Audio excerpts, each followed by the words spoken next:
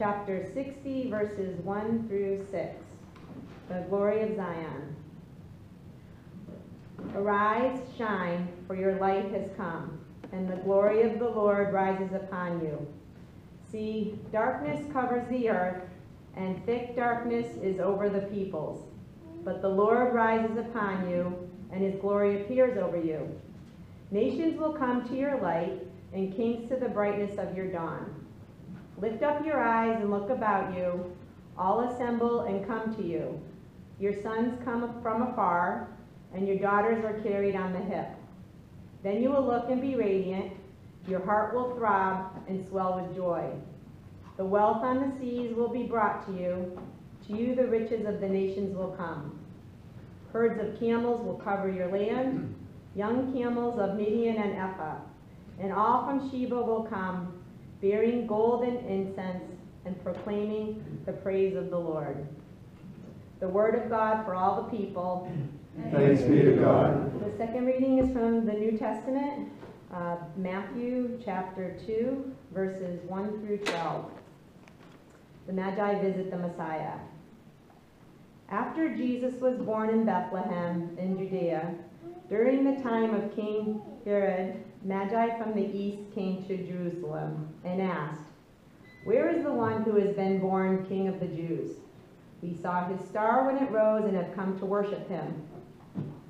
When King Herod heard this news, he was disturbed, and all Jerusalem with him. When he had called together all the people's chief priests and teachers of the law, he asked them where the Messiah was to be born. In, in Bethlehem in Judea, they replied, for this is what the prophet has written. But you, Bethlehem, in the land of Judah, are by no means least among the rulers of Judah. For out of you will come a ruler who will shepherd my people Israel. Then Herod called the Magi secretly and found out from them the exact time the star had appeared. He sent them to Bethlehem and said, Go and search carefully for the child. As soon as you find him, report to me so that I too may go and worship him. After they had heard the king, they went on their way, and the star they had seen when it rose went ahead of them until it stopped over the place where the child was. When they saw the star, they were overjoyed. On coming to the house, they saw the child with his mother Mary, and they bowed down and worshipped him. They opened, then they opened their treasures and presented him with gifts of gold, frankincense, and myrrh, and had been warned in a dream not to go back to Herod, for they returned to their country by another route. We have come from our homes. To journey here this morning. To experience your light and experience joy and fellowship and to worship you. As the wise men came to Bethlehem to worship Jesus. Guide us now as we seek to understand your word in a broader sense. And may the words of my lips and the meditations of all of our hearts be acceptable in your sight. Amen. I love the idea of, of the wise men, uh, the families probably. Uh, more than likely it was a caravan. Traditionally, talks about three wise men because there were three gifts, but it was probably a large group that set out almost like a uh, uh, people going west way back in our history. And um, I can imagine that as this group of astrologers who have studied the stars say, there's a star that has appeared that is a sign of the Messiah being born. And so we're going to journey and follow that star. I, I can imagine people who weren't in on that uh, bit of astrology kind of, uh, oh, say, whoa. They've lost it. They've lost it. You're going to follow which star? Up there? And, uh, no, you know, that, that's, oh yeah, that, oh, I see, that one, sure. And being mocking and having a wonderful time teasing them. And you're taking your family with you in a caravan? And you're, and you don't know where you're going? Wow. What great men you are. You idiots.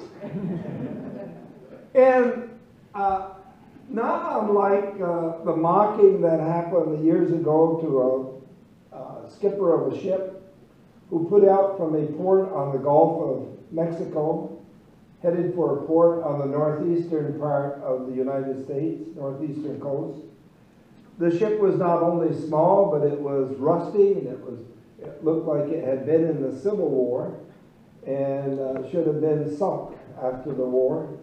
And uh, they they said, where you're going? He said, I've got a date with the Gulf Stream. And we're going over to the northeastern coast. And they mocked him and they said, in that tub, I don't think you're going to make it. What makes you think you can do it? And he said, because I've got a date with the Gulf Stream. And the skipper was able to maneuver with the wind and a gifted skipper of a ship and to make the journey. And in a way, these wise men say, I have a date with the light that's in the star. Not the star, but the light in the star. I have a, we have a date with that, and we're headed out. And more than likely, it was a two or three year journey that they followed when that star first appeared. So it wasn't like they just ran down to Walmart for, uh, you know, for some camping supplies to, to last you through the week. No, they, they had a journey ahead of them. And they didn't know how long it was going to be. They aren't entirely unlike Abraham in the Old Testament, when God came to him and said, you got to go off, and he left everything. And um, when we come to this first Sunday of the new year, it's really an invitation not to make resolutions, but to uh, join in, a, in the adventure of living God's way and following the light and the star and where that takes us. Now, some of us may, may make resolutions. Uh, when I make them, I always look for the first Sunday in Lent because then I can give up my resolutions for the year. And, and then I'm all set.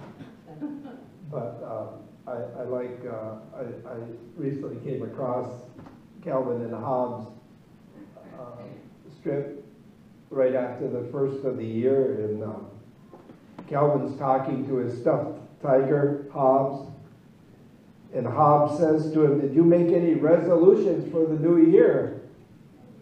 And Calvin becomes highly indignant and shouts, No, I'm fine just the way I am. Why should I change? I think he should run for president because I think there's, well, anyway. In fact, I think it's high time the world started to change to fit me and not that I have to change. I don't see why I should do all the changing around here. If the new year requires resolutions, I say it's up to everybody else, not me. I don't need to improve. Everyone else does.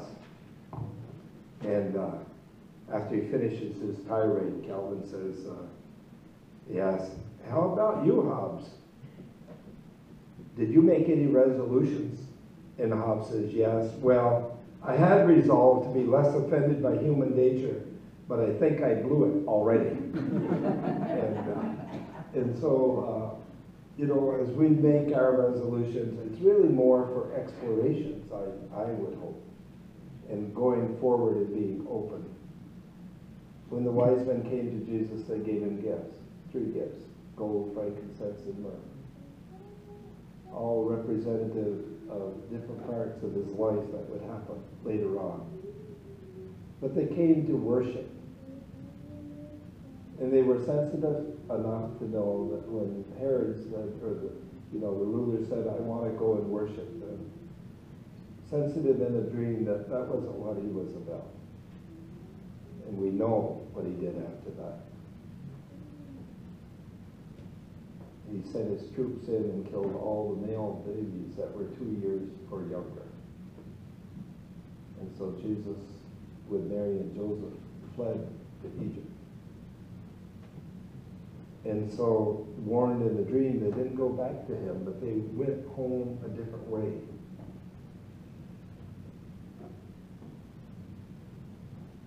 What were they worshiping? They were worshiping a sense that this light that Isaiah writes about, this light in the star, this source of light, this Jesus, was one who would bring them peace.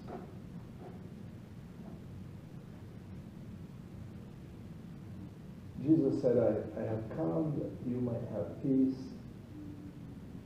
and not as the world gives, give I unto you. Let not your hearts be troubled. You believe in God, believe in me also. It's really, um, recently, or a while back, someone found a book that was dedicated to a man's sister and his mother.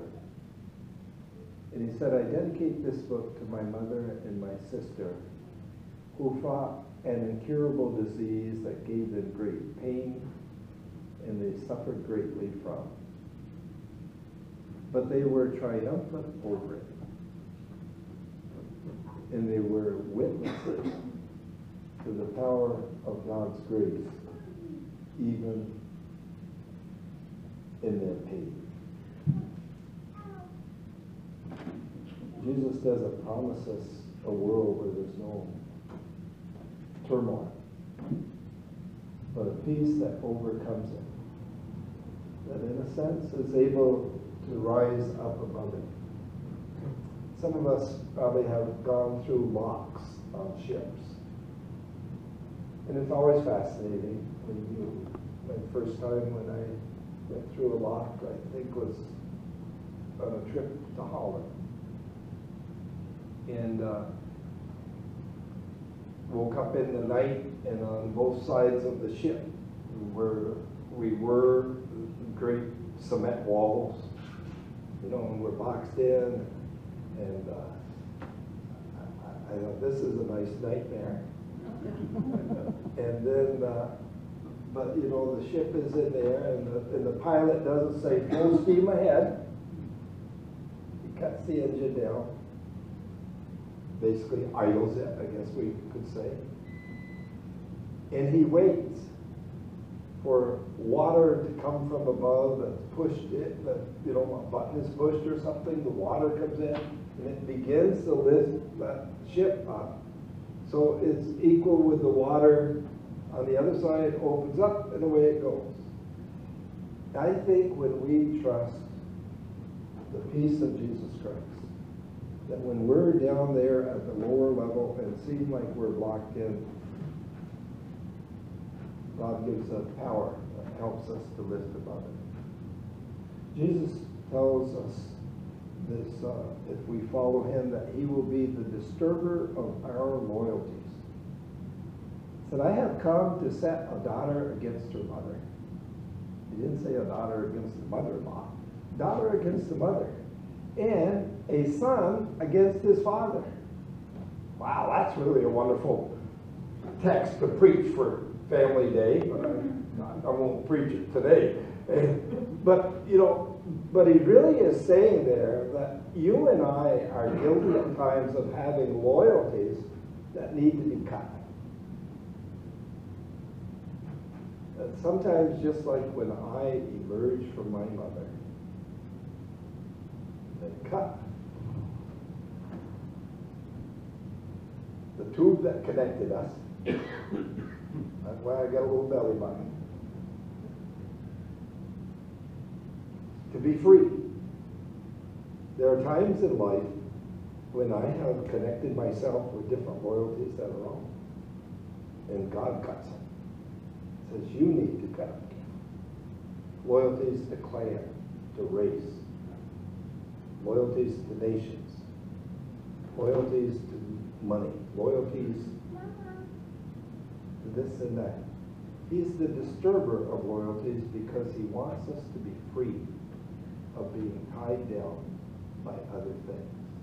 And it doesn't mean that moms aren't supposed to love their daughters and sons their fathers, or vice sons their mothers. But it means that there's a more primary relationship. That's why Jesus is the disturber. Because at times he can shake me up. The light in the star is a source of power. Paul says, I can do all things through him who strengthens me. God raises us up. There's a wonderful story that Henry Van Dyke wrote. Author from the last century, a preacher. Many years ago he wrote it. It's called The Fourth Wise Man. If you've never read it, you know, uh, to check it out and get it. But I'll spoil the plot for you. But still read it. The fourth wise man tries to find Christ. And he gets his gets three jewels, expensive jewels, to take to worship him and tries to follow the rest of the wise men long after they had left. And as he begins his journey and goes, he's unable to catch up with, with the wise men. But different things happen to him on the way. He encounters someone who is hurting real bad, and he ends up giving one of the jewels to that person. Continues, gives up the other jewel to the person. Continues, gives up the other jewel. Suddenly realizes, I don't have any gifts to bring to Jesus or you know to the Christ. But he continues searching, searching, searching, and searching in this journey. Continues encountering people in need and helps them the best he can. And finally, at one point, as his life begins to draw toward an end, he realizes that he has met the Christ many times. Every time when he met somebody in need, he met Jesus. And that indeed he had been able to give his gifts to him.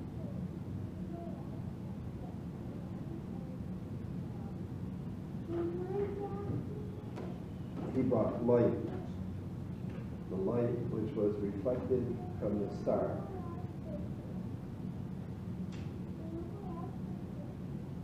He brought light to those in darkness with his healing. A man brought a expense, uh, not a terribly expensive gift, but it was a uh, a matchbox of all things for his wife. But it was a phosphorescent matchbox, which was supposed to glow in the dark. Very thankful he had wrapped it up, kept it wrapped up for quite a while. Probably every man here got their Christmas shopping done about November 29th. Wrapped the presents and just kind of laughed at the women and said, "Oh, you hurry around, but we're so good, we, you know." And do I tell the truth? No. and so actually has this wrapped up all this time and he presents it to her. And nothing happens. It doesn't glow in the dark. And he says, Well, I guess I got cheated on that one. I'm sorry, honey. But she looked at the box the next day a little more closely and found an inscription in tiny letters I mean, men don't read directions. If you want me to shine in the night, keep me in the sunlight through the day. She did as directed, and that night after dinner, it was a pleasant surprise for her husband when she turned out the light and the matchbox shone with a brilliant glow. It's true of that matchbox. It's true of us. When we accept Jesus Christ in faith, the light within us can glow. It can glow to lighten up the world that God has given to us. And we will not return home the same way, ever. But we will still go home. But we will be different persons, guided by a light, the light of Christ. May we share that.